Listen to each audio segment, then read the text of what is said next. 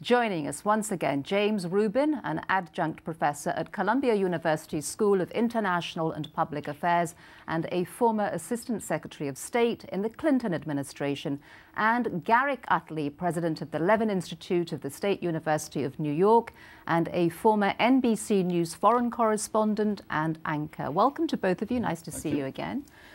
So, do you, Jamie, expect um, a deepening intervention in Yemen um, in the coming months as President Obama has vowed, has promised to follow through um, in terms of cracking down on Al Qaeda in the Arabian Peninsula? I do expect an increased focus on Yemen. Yemen is a difficult challenge for a number of reasons. I think people might uh, imagine it as a combination of some of the failed state qualities of Afghanistan and the difficult acceptance uh, that Saudi Arabia uh, went through before it accepted that it was in a war against Al Qaeda. The Yemen government recognizes the presence of Al Qaeda, but like Saudi Arabia, they're reluctant to have a full fledged open alliance with the United States in this challenge. So we have Arab politics, we have a civil war there, we have a failed state quality, and trying to uh, exploit all that we have uh, a new uh, effort by Al Qaeda. And so it's a difficult combination of foreign policy and, and counterterrorism. Right. And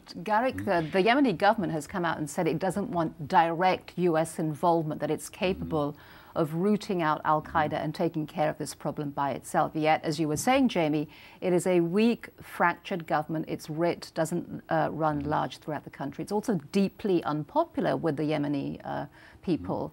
Um, is it capable of taking on this problem without direct U.S. Not involvement? Really. Well, first of all, it's not so much a failed state as a non-state. It's like Somalia, which may be a failed state, but this is the Yemeni tradition of tribes, of villages, etc. And the government of President Saleh, who's been there, what, about 30 years right now, I mean, just sort of ruled in that uh, sort of diminished way.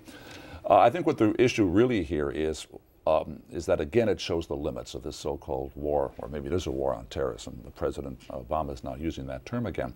Are we going to send troops there? No, we don't have the troops, and, and, and they really that's off the off the table. But we have covert operations. oh, you'll have covert operations. Already, right? Are we going to go and do uh, battle for the hearts and minds of the people with, with extensive economic aid and assistance? Well, who do you deliver to? It's not that the Yemenis are fighting this. These are Al Qaeda cells or a cell that has been formed there. You're looking for the proverbial needle in the haystack. So intelligence operations, absolutely right.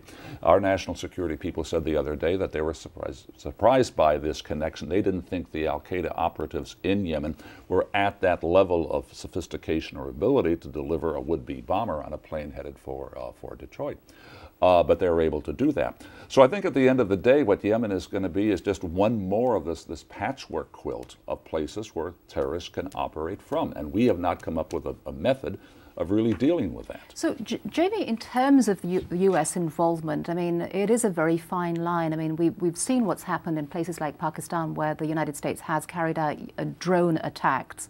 And so the, our agenda isn't obviously the agenda of these local governments. How do we deal with that in the Arabian Peninsula with well, states like Yemen and, and I think we need the subtlety to recognize that America is not popular in Yemen right now, but we also need the wisdom to understand that our assistance in the form of not just military uh, intelligence and counterterrorism, but actual foreign assistance has gone up and down in Yemen. And I think now you're going to see an effort to put together internationally a package that says, okay, can we help the Yemen government win back some of the support of its people, avoid an implosion in their rebellion in the north and, and the difficulties they're having in the south?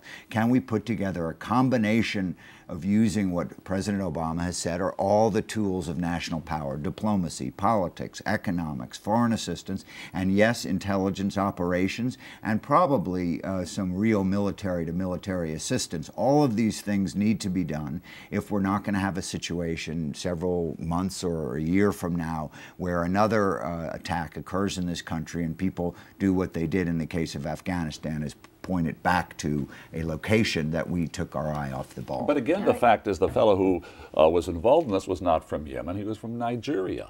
We know that some of the leading Al Qaeda operatives there, whatever they call themselves, uh, were not from Yemen. Um, one of them was born in the United States. Uh, so this has become this new kind, or maybe not new, but in Yemen, new kind of, of reality that is there. And I very much question how much the, the Yemeni government could really deal with this despite any amount of aid that we're going to give it. There always are places to hide out. You can operate. They've had Al Qaeda, Al Qaeda going back to 2001, had a cell in Hamburg for the 2001 uh, 9 11 attacks. So I think we really have to rethink in the public mind as to what this so called war on terrorism is. It's a war without front lines. The only front line in this war are the security checks at airports. That's mm-hmm. the front line. But, and if you breach that front line, you have a problem, which nearly happened in Detroit. But I don't see us being able to do very much in Yemen. Uh, that's going to really turn the situation because it'll pop up in some other country. Mm. Do you see the ch challenges in the Arabian Peninsula when it comes to dealing with Al Qaeda?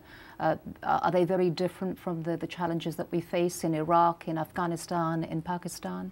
Well, I do think what's different is that in this particular part of the world, Yemen, uh, the, this is the place where Osama bin Laden's father came from. This is the place where uh, the anti-Western uh, Muslim extremism sort of has a home. And so I think we're going to have to show extreme subtlety.